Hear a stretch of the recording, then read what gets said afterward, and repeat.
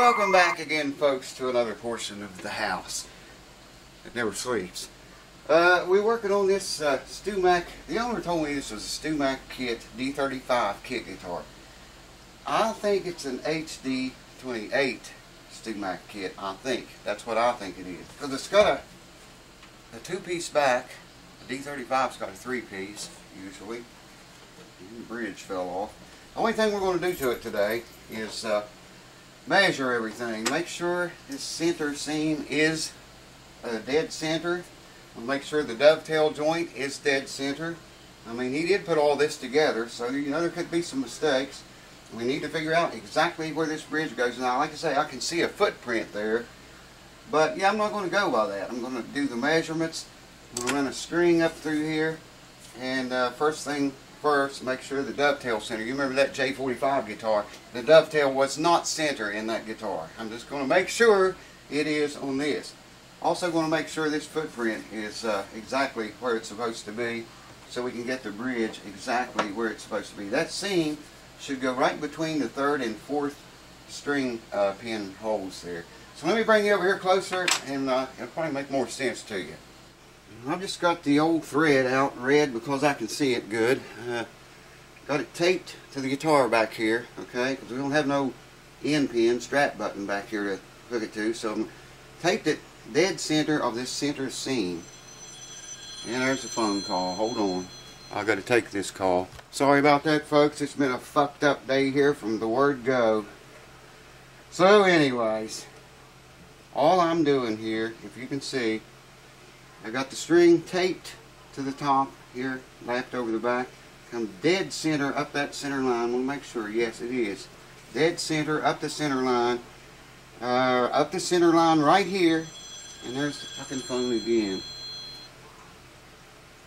And now, okay, the string. I don't know if you can see the string or not, but it is. It is dead center of the seam here and the, the dovetail joint. Okay, so that's all good. Now, we need to figure out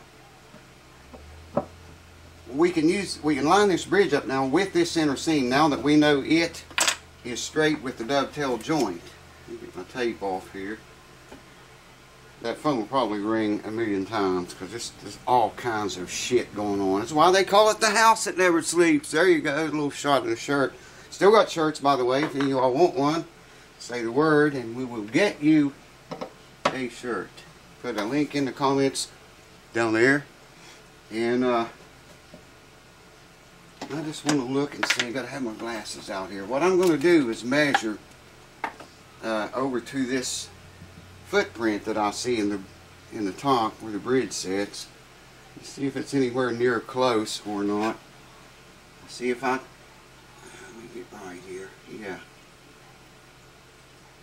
This is the one I want. If I put that right on the edge, backside edge of the bridge here, okay, comes out here. Uh, it looks like uh, four, four and three eighths. Okay, four and one, two eighths, three eighths. Four and three eighths to the binding, the very outer part. So let's just come over here and do this very same thing. It's hard to see that footprint here. And if it is, it's not center. I can see this side pretty well. And I can see the front across here. So uh, let's measure from here it's like three, about three and one, two, three and three eighths from the center of the sound hole, from the sound hole. One eighth, two eighths, three eighths.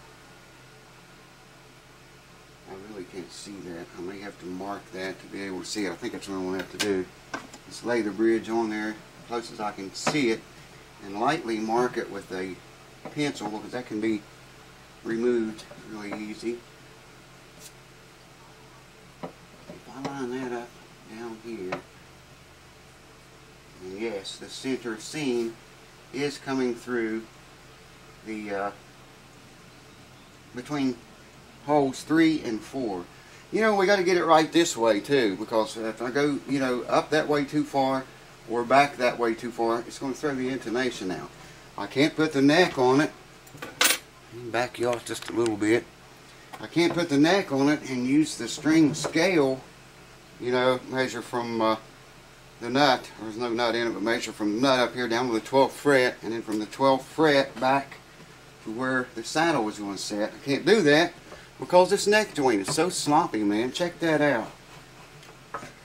Wow, that is really amazing how sloppy that is. StewMac's uh, specs say precision, precision machine cut joint. Huh, I don't know, man. You can look at it. It does not look like anyone has tampered with that. That looks like it's, uh, you know, factory. It's never been tampered with. It kind of makes me wonder if this is the right neck for this body. Because that joint does not fit at all. I mean, look, it, it's crazy, crazy loose. Check that out. Anyways, that's what I'm going to do. I'm going to uh, try to see that as well as I can and mark it lightly with a pencil. Maybe I'll tape it down so I, can, I might be able to hold it like that long enough to draw it. Hold on, let me gather my thoughts. Very small collection, it won't take long. Hold on. Well, here's an interesting take for you. This wing on this bridge is longer than this wing. If you measure from this uh, high point right here and this high point right here, the wing itself, if I measure this one, it measures one inch and one, two, three eighths. This one measures one inch and one, two eighths. Okay? Now, according to this center seam line on our string here, which is dead straight, line it up with the seam. There we go. That's string is with the seam and it's dead center of the third and fourth strings. However, we're not dead center when you measure from the wings. That's four inches and one eighth from the front part, front corner, parallel to the bridge, four inches one eighth. We measure parallel to the bridge from this top front corner and it's four inches, eighth an inch, eighth of an inch off, just like what we figured there, exactly what we figured there. Okay, the back one, the back corner, measure from it and backwards here. Okay, I'm not parallel. There we go. Well, shit. Hold on. Gonna shit together here. It's been quite a day here today. Nothing new here, huh? Let's see if we come off here parallel to the bridge, the rear corner now. Uh, four and a half inches exactly to the outer binding right here. Four and one half inches. So if I come parallel off of this corner, it's four, it's lacking an eighth of an inch being being uh, the same distance as it is over here. The string holes three and four, as I said, are dead center of the seam and the string. So I'm going to go ahead and mark that and drill it there. The pinholes I'm talking about. But we are straight with the line, and that's the main thing. Uh, we get the thing centered and get it right this way. You know, this way and this way. Having trouble getting it this way because of the the uh, wings being different lengths. And uh, this way, I'll just set it into the, uh, the print that I could see there. And we'll go ahead and kind of sketch that out a little bit and mark these holes. I want to put a little more tape on it first. We do not want that thing to move right now. So we'll put a little tape here. And uh, a piece of tape right here. This tape's not very sticky. I mean, it's not going to hurt the wood or the finish or anything like that. And I'm just going to uh, roughly, or lightly rather, draw around it like what I can see of it anyways. Just so I'll know. I'm absolutely sure that the uh, as far as the strings go, the thing is dead center. I do know that. We'll mark out these bridge pin holes. And get ready to drill that puppy.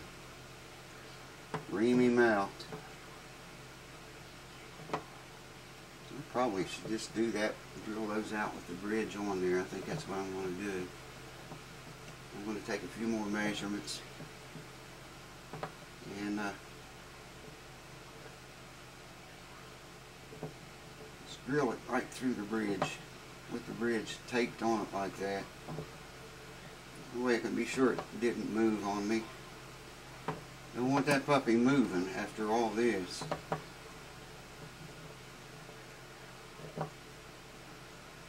Alright, I'm going to have to charge the drill. I know I'm going to have to. It's never charged when you need it. So, hold on. Someone has marked the center of that bridge between uh, pegs 3 and 4. It doesn't look center to me, but I'm going by that. Okay, see here? I got this taped on. Don't let this little shadow throw you off. That's a shadow from the light. Uh, shit. Try to block it with my arm. Really wish that shadow wasn't doing that because that's going to make it look funny there. That's better, I think. And I still see the shadow from the string a little bit. Believe me, the string is practically in the seam lined up with it, okay? So we come up here, we go between strings 3 and 4. That's all good. We come up through here, we go uh, up the center seam right there. It's perfect other than that shadow. But check this out. Look how far that, that string is off from the back brace in there. Now I can move the camera a little bit and make it center like there. But you can see I get more, more off center as I come back holding the camera that way. I'm lining the camera up as straight as I can get it this way and we start coming straight up like this and when we get to you can see that back uh, thing I'm talking about on the very back strip uh, it looks more center now than it did. Anyway it's, it's in the seam there. I got to glue that crack in that seam there. And we're all good to go. Ready to drill bridge pin holes that's as close as I'm going to get it guys with these wings being different widths. I think this one was longer than this one a little bit. So that made the readings from these two corners out compared to the readings from these two corners out kind of funky. Uh, it's the same distance from here to the very end of the guitar, that corner. Well, actually, I measured from this front corner back to the end of the guitar, forget what the numbers were, and it was the same from here back to this corner. So that's all good. The intonation should be fine the bridge is, may look a little bit offset because of these wings being different size. See this uh, this uh, high edge here. Okay, I measured from that to the end of the wing. And same thing on this side. I don't think you can even see the high edge with the way the light's hitting it here. Turning around. Talking about that edge right there. Out to the corner of the wing. And this one's longer. The wing's longer. So I don't know. I just, uh, you know, I still don't like the looks of coming up this thing. When you get up to the sound hole, you can see that is not center there with that back strip. It is centered with the center uh, seam there, and it's centered with the dovetail joint too. But it's not centered. You get straight with it again. There, you can see it. The back seam in the center of the back, it's, the string is not centered with that. I wish you could see the seam here. If I get on this side, you can actually, let me turn the thing toward the light. That should get rid of the shadow. Yeah. Now, that's the seam you're seeing. That's not a shadow. Alright, so if I come up here, get straight over, you can see that is lined up perfect with that center seam in the top. I'm coming right on there. See what I'm talking about? How that's off? I can come over here and make it on with that rear uh, center seam. then when we come back this way, it looks like it's off from the seam of the guitar. If you can see that, yeah, there I think you can see it. Just weirdness. There's the bridge is funky. It's not cut evenly, the wings on each side. Anyway, it's going to charge the battery. Hold on. Here's one more shot, okay? Now you're going to see a little bit of a shadow here from the string because of the angle the light's coming down from this way. The string is dead center of the center seam. Alright, we come up through here. There I can see that shadow. We are center of the third, fourth strings. here's where it gets interesting. We are center of the uh, dovetail, or the neck block rather. See? Let me get back here where you can see it. Center of the neck block. Okay, center of the neck block, not center of that rear strip on the back. So I don't know, man. I don't know how square and flat and level this entire body is. But uh, by putting the bridge on first and then aligning the neck with the center of the bridge and the center of the top, you know, the playability should be okay, even though something really funky is going on with that uh, down in there. Check that out. Very much weird. Let me show you one more time closer. There's the neck block. Let me get lined up with it. You can see that rear uh, seam on the back of the guitar is not center with the, the neck block. Let me back you off here a little bit. You can tell just looking at, looking at it. See that strip coming up? Forget the string now. Just don't even think about the string. Forget it. And look how that strip is offset to the left of that neck block. It's not center of the block. So we may run into all kind of issues here. I don't know. Waiting on the battery charge for the drill, then we'll drill this puppy out. I'm going to measure it one more time while I wait. I'll bring you back for that and we'll do it. Alright, finally got the battery charged up. Uh, I got a couple grandsons came in, so you're going to hear all kind of noise in the background with the AC's running. So let's uh, pop a cap in this thing's ass. Drill six holes into it. I got an 11 64 bit. That's uh, smaller than I need. We just want to get through here for the time being.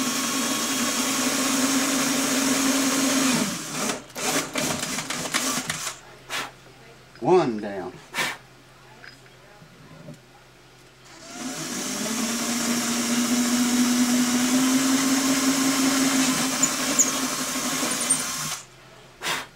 Two down.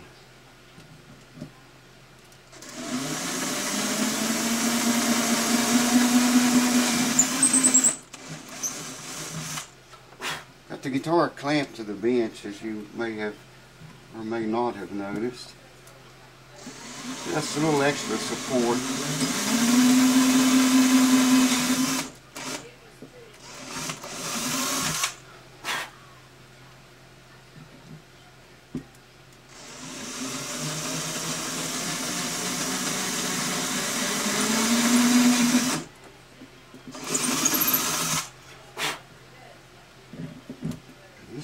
This will mark our spot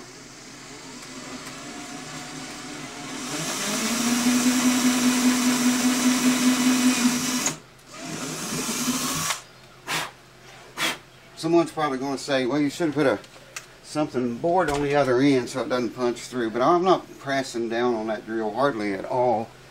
Just letting the weight of the drill, not even that much uh, downward pressure.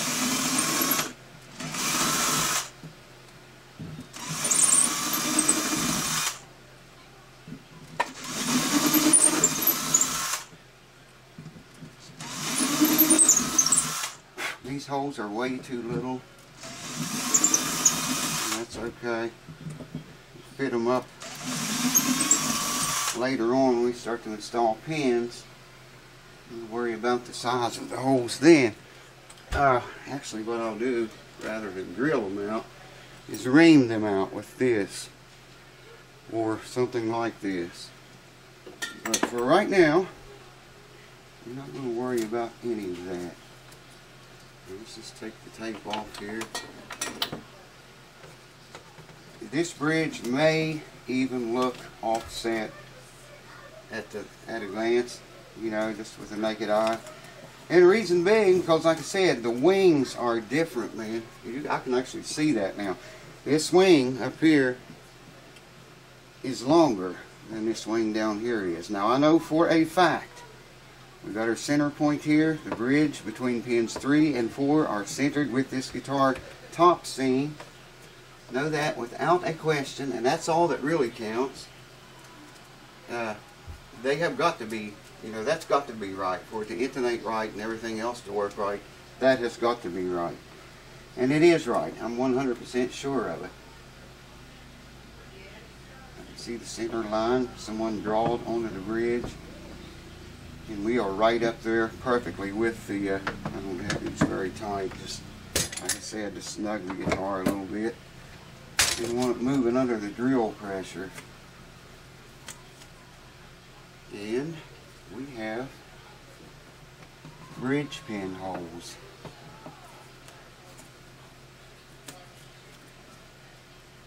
Now we know where the bridge goes. It, I can't see that. I don't know if you guys can or not, but try to get it in line with the camera. From here to here is a little bit less space than from here to here because that wing is longer. And the bridge moved a little bit.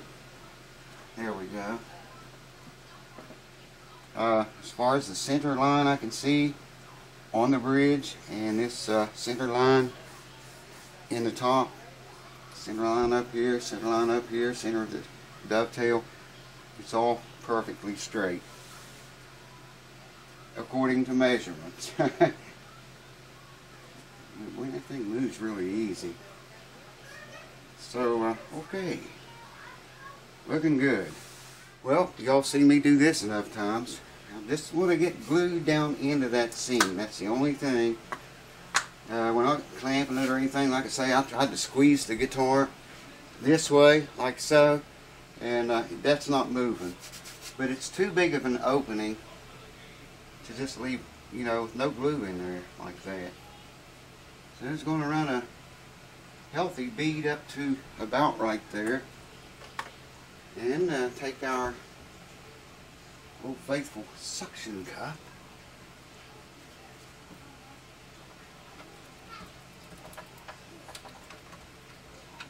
go and make that glue go down into that seam better than that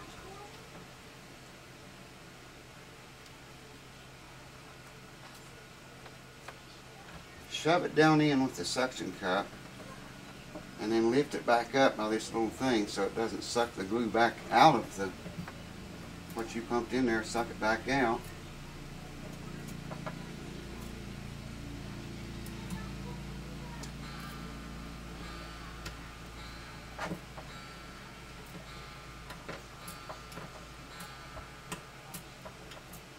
Yeah, it's going in there pretty good, I think. Alright get that off of there.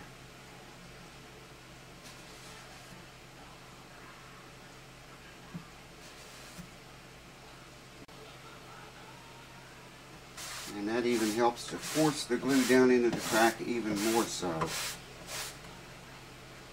you can see. I hope that camera's running. I can't see it too good. I think it is.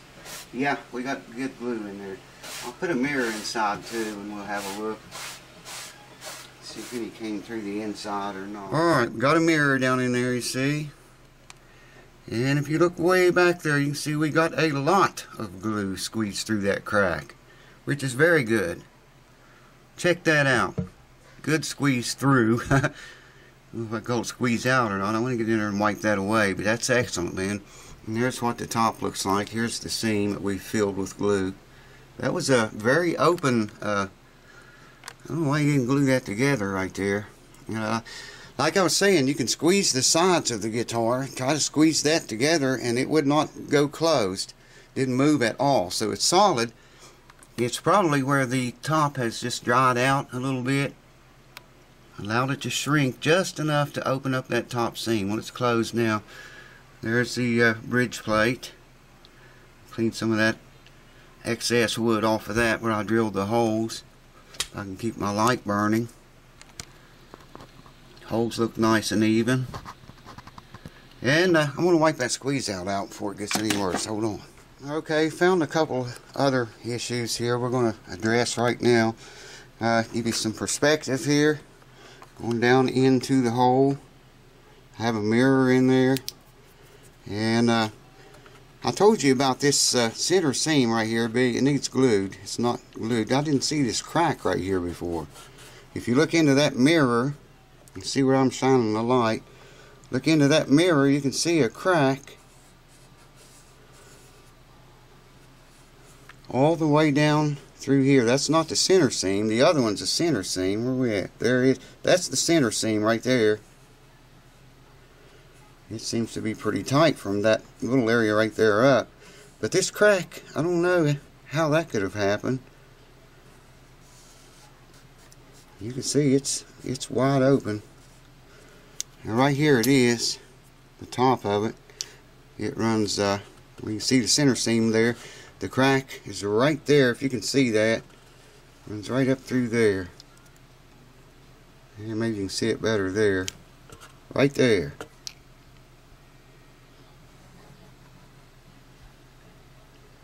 Yeah, it's it's opened up pretty good. So we'll get some glue in that. All right, guitar is very, very dry. So I'm going to take a, I got a really wet, super wet cloth here.